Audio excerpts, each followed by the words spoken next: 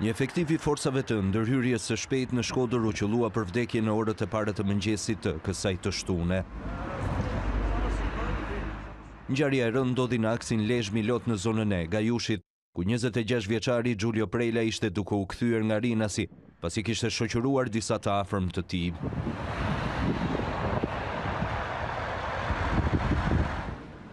atentatorët dyshohet se kishin ndjekur çdo lëvizje të njëzet e gjashtë vjeçarit, ndërsa ende nuk dihet se çfarë ka bërë të riun të ndalojë mjetin e tij tip Volkswagen. Hetuesit mendojnë se Prelës i është bërë shenjë të ndalojë çka hedh dyshimet se ai ka pasur njohje me njërin prej atentatorëve, ndërsa plumbat e pistoletës i ka marrë nga një distancë e afërt.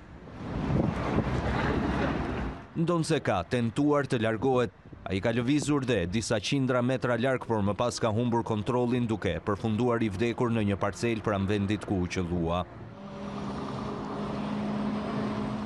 Për ekzekutimin policia ka shoqëruar disa persona të cilët mund të kenë dijeni për ngjarjen.